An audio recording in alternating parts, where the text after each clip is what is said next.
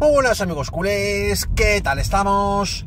Leo Messi sigue batiendo récord de nominaciones. Esta vez va a ser nominado al mejor jugador de la Ligue 1 junto con Kylian Mbappé. Y es el máximo favorito para ganar ese galardón. Y mientras tanto el crack argentino sigue entrenando para preparar el próximo partido del PSG contra el Auxerre. Atención a esta noticia bomba de última hora.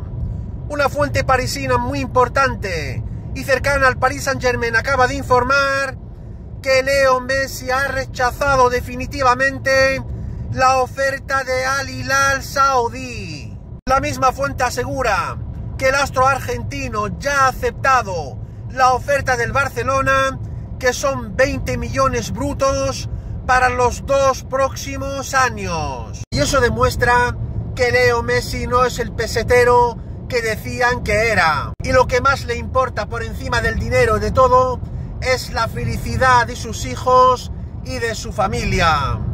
Esta ha sido mi grandísima noticia de hoy, amigos culés. No os olvidéis suscribirse a mi canal, que no os cuesta nada. Pulsar un like como siempre y dejarme comentarios para cambiar opiniones. Muchas gracias. Forza Barça por siempre. Vamos a por todas. Y nos vemos muy pronto en mi próximo vídeo.